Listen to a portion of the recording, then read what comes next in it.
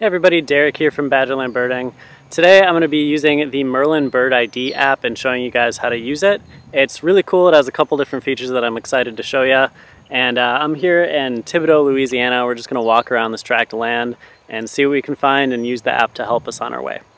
The first thing is to download the Merlin Bird ID app on your phone. Uh, it is free, so everything on here, nothing's paid.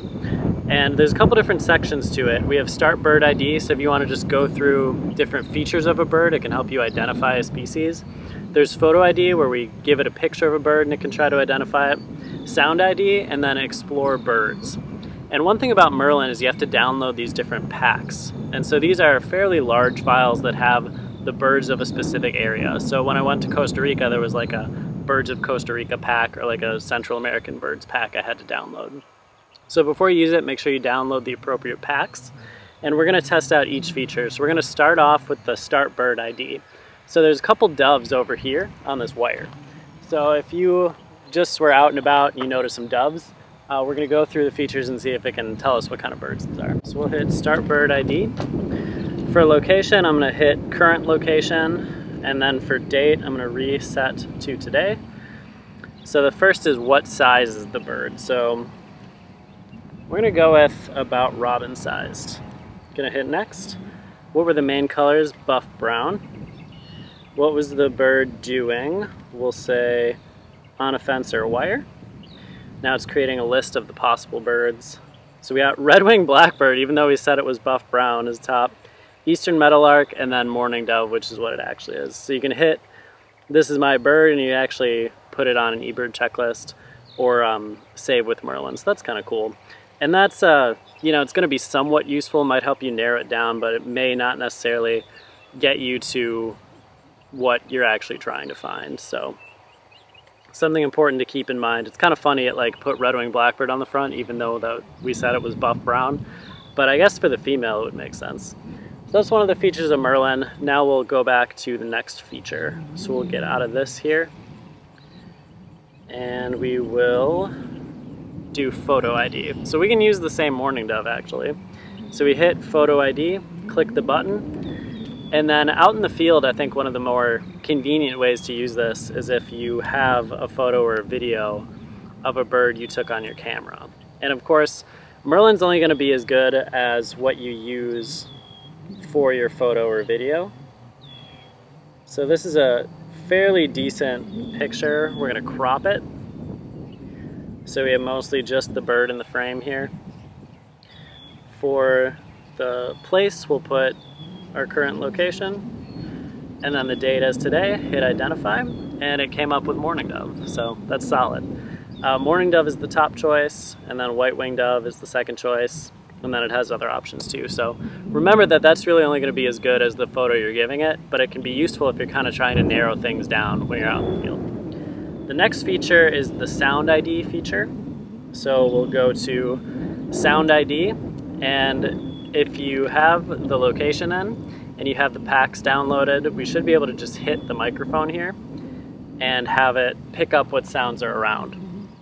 Now this has been the bane of some bird biologists' existence because people use the sound ID feature and they submit an eBird checklist with everything and it's just these ridiculous rare reports and they say they use the sound feature. So take this with a grain of salt, what it's telling you in the sound ID feature um, so people don't get these crazy bird checklists out there. So we're gonna hit the button and we're just gonna see what it picks up. I kinda know it's around so we we'll, should be able to tell if it's accurate or not.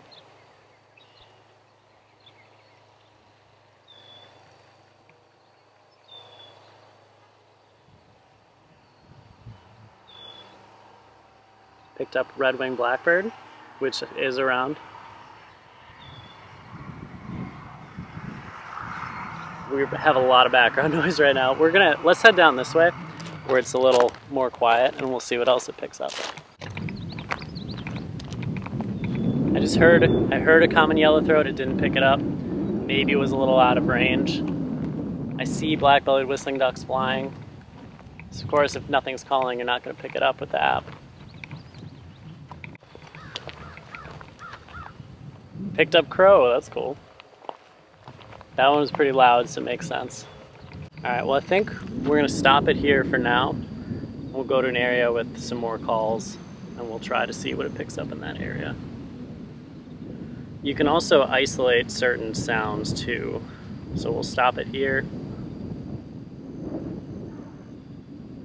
So it shows the two birds listed. And you can also highlight and isolate certain parts of it and it'll tell you if it has a match for that section too. There's our crow. Cool, we'll go to another location and test this out there. We're at the other location, gonna pull up the Bird ID app, hit the Sound ID feature, see what we pick up.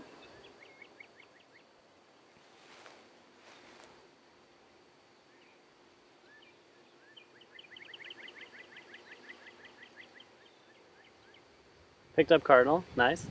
So when it picks up a new bird, it actually like flashes yellow and has a little blue dot.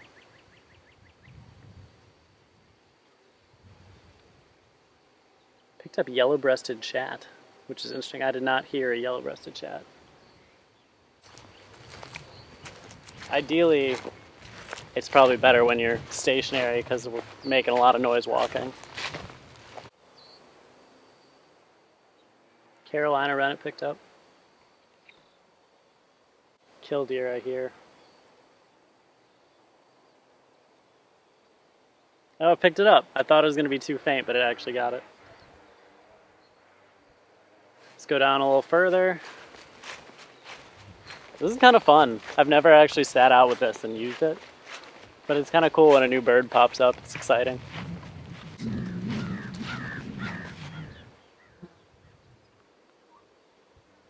Heard crow, but it didn't pick it up. Red-winged blackbird, nice. That crow is pretty prominent, but it's not getting it. Let's keep going. Definitely if stuff is quiet, it has issues picking it up, which makes sense.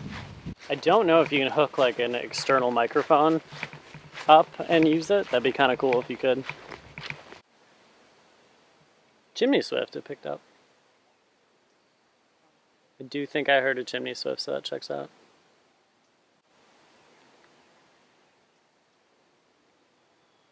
Picked up chat again for a second. I just am not hearing that.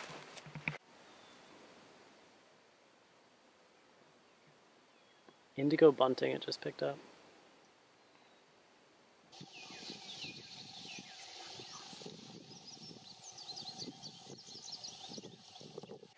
All right, I'm gonna stop it for now.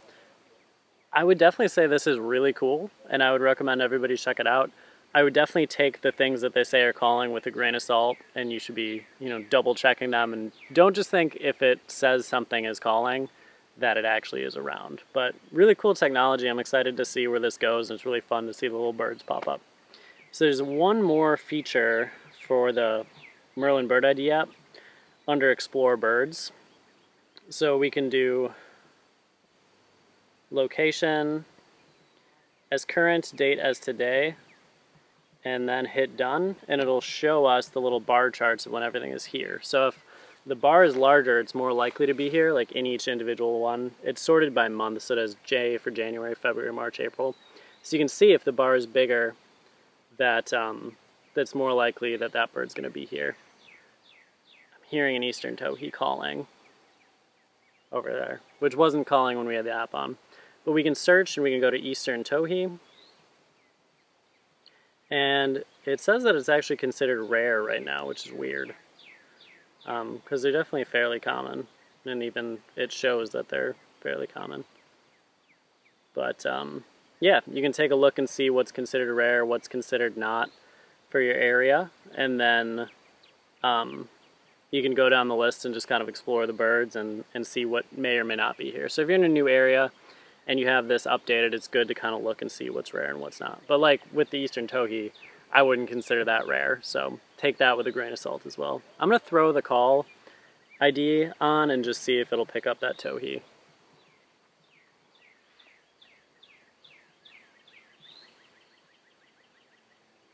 That did. And it still says it's rare on here. One more thing I wanted to mention about the Merlin app is when you go to explore birds, say if we hit black-bellied whistling duck here, we can go to the map and it'll show us a map of where they're found. as well as you can play the sound. So this is one of the calls. So it's kind of nice to have those calls on hand. And it gives you a wide variety of calls to pick from. So that's a few more tools that you have with Merlin, but make sure you have the right packs downloaded because if you don't, you're not going to be able to, to access that. So like Mottled Duck isn't in the pack I downloaded, so it's just telling me that I have to get these other packs. So make sure that if you're in an area without reception, you have all the packs you need downloaded so that you're not left high and dry when you need a call or something like that. That's kind of an introduction to Merlin. There's a lot of cool stuff you can do with it, but don't think that just because it says a bird is there or a bird is rare, it, may, it might not always be true. So definitely be doing your own homework, take lots of pictures, get audio recordings you can verify on your own. But definitely fun to play with, would highly recommend it. And uh, go out there, explore. Let me know what you guys think in the comments, and thanks so much for watching. We'll see you next time on Badgerland Birding.